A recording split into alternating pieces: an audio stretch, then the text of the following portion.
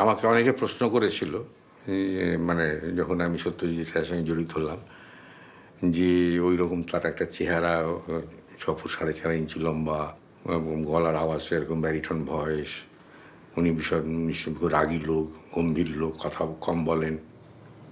কিন্তু আমি বলছিলাম যে, না, এবারে তিনি একবারে উল্ট যে- মানে ওর যে আর আমরা যে ইউনিটি যারা ছিলাম, তাদের সঙ্গে মানে আমি কখনো মা তাকে ভাবিনি যে তিনি পরিচালক, সত্যজিৎ রায় এত বড় পরিচালক নয়। তাকে আমি মানিকদা বলতাম, তাকে সে তো মানিকদা তো মানিকদা মানে তিনি আমার দাদার মতোই ছিলেন হ্যাঁ? যে আমাদের সময় তো তখন কোনো রকম ইনস্টিটিউশন ছিল না, বা বা যেরকম, বা অতএব যে তিনি আমার কাছে এক- একটা প্রতিষ্ঠান ছিলেন, এবং এবং শিক্ষক।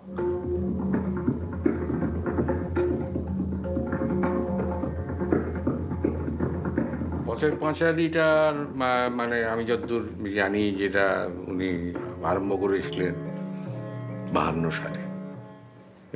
এবং সেটা নিজের বন্ধুদের কাছ থেকে টাকা ধার করে নিজের রেকর্ড, বই বা বৌদির গয়না বন্ধক রেখে আরম্ভ করেছিলেন। কিন্তু সামাও সে সুবিধাটা করতে পারেননি পয়সার অভাবে।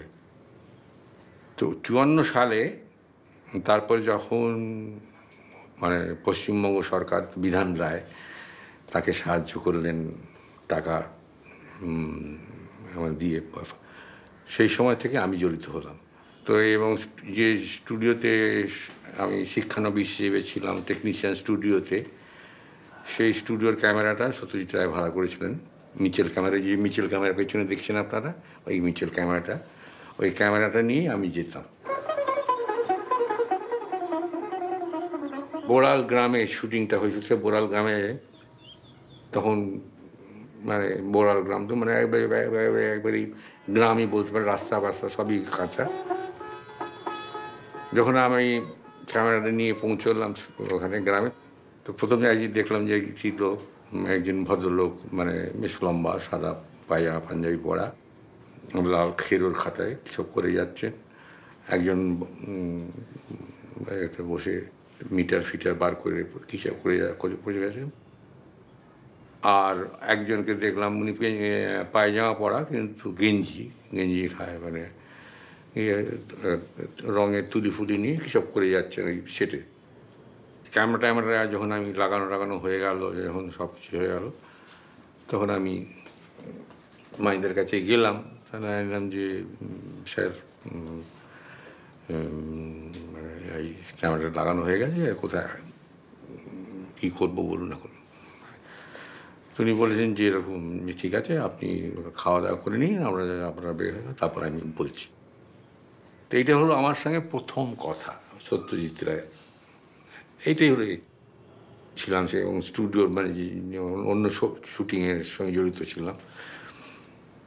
সেখানের সঙ্গে এই এই এই শুটিংয়ের যে তফাৎটা আমি তখন আমার কম অভিজ্ঞতার মধ্যে আমি যেটা পেয়েছিলাম, যে ওখানে যেন একটা মনে হচ্ছে একটা কৃত্রিমতা ভাব ছিল, যে সব সকলেই একটা মেকআপ করেছেন কেউ সারা জামা কাপড় পরেননি মানে সেই মানে ছেলে মানে পুরুষ, মহিলা সকলের মেকআপ আছে তাদের মধ্যে এবং তাদের এবং- একটা বিভাজন আছে মানে যে টেকনিশিয়ান আর্টিস্ট মানে চিফ টেকনিশিয়ান বা যারা জুনিয়র টেকনিশিয়ান এটা মানে সব দিক দিয়ে একটা একটা জায়গায় একটা ভাগ ভাগ করা আছে এটা তো কিন্তু এখানে দেখলাম সেটা একদম নেই।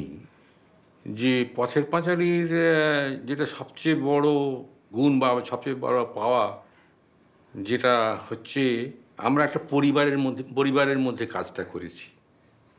এবং সকলেই ভীষণ ইনভলভ হয়ে যেত ছবিটার মধ্যে, ছবিটা করতে গিয়ে। সকলেই মানে যারা কাজ করেছে তার মধ্যে বেশিরভাগই অ্যামেচারই ছিল এবং কিছু কিছু ভেটারেন ছিলেন। হ্যাঁ হ্যাঁ। আমার মনে হয়েছে যে, আমি কিছু কিছু নতুন আমি শিখছি। নতুন নতুন জিনিস দেখ- দেখছি। আমাদের শেখানো হয়েছিল যখন আমরা আমরা যে আউটডোরে কাজ করতে গেলে রোদ্দুর ছাড়া ভালো ছবি ওঠে না। এই একটা কথা। কিন্তু পথের পাঁচালি যে ছবিটা, সেটা আমি দেখলাম যে ডিফারেন্ট লাইট কন্ডিশনে ছবিটা শুটিং হয়েছিল। সকালে যেমন শুটিং হয়েছিল, দুপুরেও সময় শুটিং হয়েছিল, বিকেলেও শুটিং হয়েছিল, রাত্রিও হয়েছিল, সন্ধেবেলা হয়েছিল এবং বৃষ্টি। ন্যাচারাল বৃষ্টিতে তার আগে শুটিং হয়েছিল বলে আমি, আমার, আমি জানি না, কিন্তু সেই ন্যাচারাল বৃষ্টিতে শুটিং হয়েছিল। কি যে একটা বিরাট পার্ট প্লে করেছে পথের পাঁচালিতে। এই মেঘ, বৃষ্টি, ঝড়, জল এই যে, সেটা যে, সে, সেটা তো প্রকৃতি তো নিশ্চয়ই, এবং বিভূতিভূষণের গল্প যদি পড়া যায়, তাহলে উনি যে প্রকৃতিটা এবং মানিকদা বলেছিলেন যে বিভূতিভূষণ আমার কিছু করতে হয়নি, বিভূতিভূষণ এত সুন্দরভাবে প্রকৃতিটাকে বুঝিয়েছেন, আমি সেই প্রকৃতিটাকে নিয়েই, আমি সেইভাবেই আমি কাজ করেছি। এবং নিশ্চয়ই প্রকৃতি যদি না থাকে প্রকৃতি এগুলো আর্টিফিশিয়াল স্টুডিওতে এই জিনিস তৈরি হতো করা যেত না। তখন সত্যজিৎ রায় চাকরি করতেন। অতএব তাকে শুটিং করতে হতো শনিবার, রোববার। কিন্তু বৃষ্টি তো আমার শনিবার, রোববার বলতে আসবে না। যে একটা যে বৃষ্টি, যেখানে যে যে দৃশ্যটা, যেখানে অপু দুর্গা বৃষ্টি, তারপরে অপু দুর্গা, যে দুর্গা অসুস্থ হয়ে পড়ে।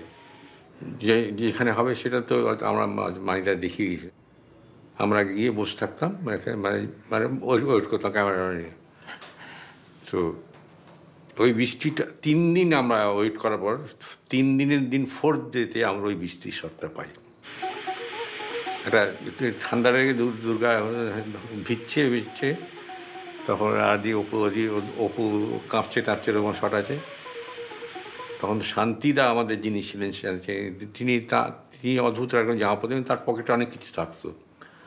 তো উনি নস্যি বের করে দুর্গাকে দিলেন। সে দুর্গা সেই নস্যি নিয়ে হেঁচেছিল, সেই শটটা, সেই হাঁচিটা।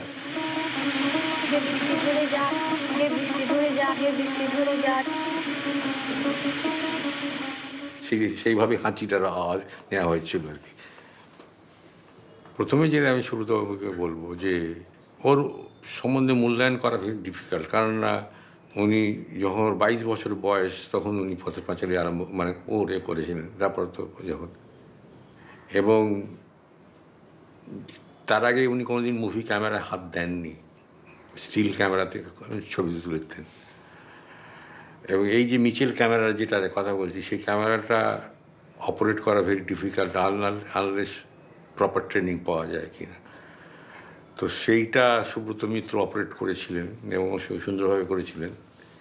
তো সেটা তো একটা বিরাট ব্যাপার এবং সেই ক্যামেরা এই ক্যামেরা কিন্তু তখন ব্যাটারিতে চলতো না টু টোয়েন্টি ভোল্টে চলতো। তা তার সেই কারেন্ট তাকে নিতে হতো।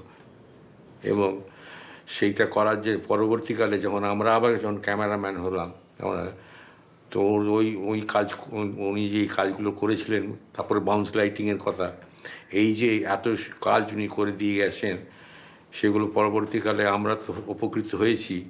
মানে ফ্লোর আমাদের সেটার উপর দিকটা খোলা থাকতো। সে উপর দিয়ে খোলা, ওই উপরে খোলা, যে খোলা পোর্শনটায় একটা সাদা চাদর বিরাট লাগিয়ে দিলেন। তো এইভাবেই ওই বাউন্স লাইটের মানে বাউন্স লাইটিংটা আরম্ভ হলো। আমি কোনো জীবনে ভাবতে পারিনি যে আমি সত্যজিৎ রায়ের ক্যামেরাম্যান হব। আমি কোন এটা এখনও যদি প্রশ্ন করেন তো আমি বলতে পারব না যে কীভাবে হলো এটা একটা অ্যাক্সিডেন্ট আমি বলতে পারি। তো মানিদা একদিন আমাকে ডেকে বললেন যে, দেখো, আমি তো এই বছরে দুটো ছবি করছি, দুটো কাজ করছি। একটা তথ্যচিত্র করছি রবীন্দ্রনাথের ওপর আর তিন একটা কাহিনী চিত্র রবীন্দ্রনাথের উপর করছি, তিনটে ছোটো গল্প নিয়ে।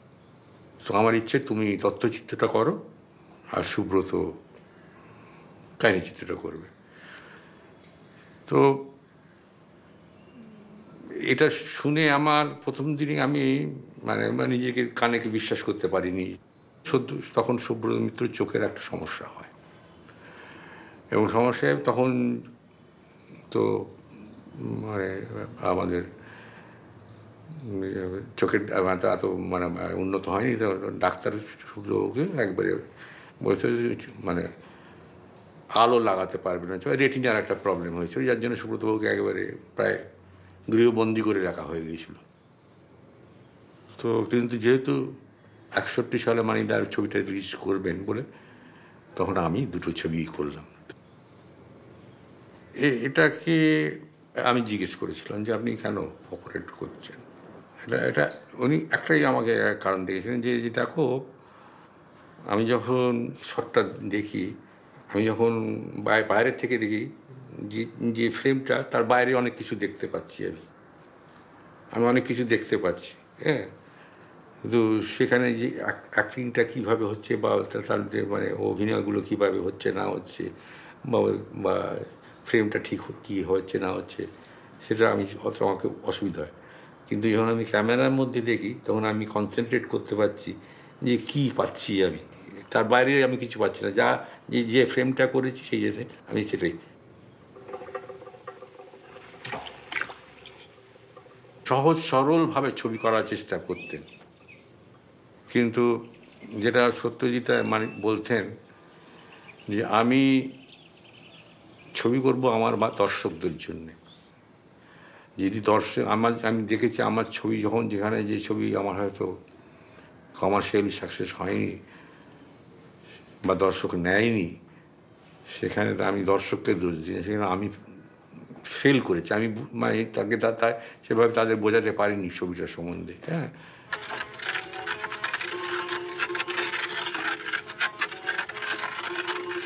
তো এইটা আমার কাছে মনে হয় যে সত্যজিৎ রায়ের সাকসেস একটা যে উনি দর্শককে মাথায় রেখে ছবি করতেন। ফিল্ম কীভাবে তৈরি করতে হয়, ফিল্মের ভাষা কীভাবে জানতে হয়, সেটা তার সঙ্গে কাজ না করলে আমি শিখতে পারতাম না। অতএব সেটা সেই দিক দিয়ে আমি খুব ভাগ্যবান যে তার সঙ্গে কাজ, আমি পনেরোটা ছবি, কাহিনী চিত্র তার সঙ্গে করেছি এবং চারটে তথ্যচিত্র করেছি এবং দুটো শর্ট ফিল্ম করেছি।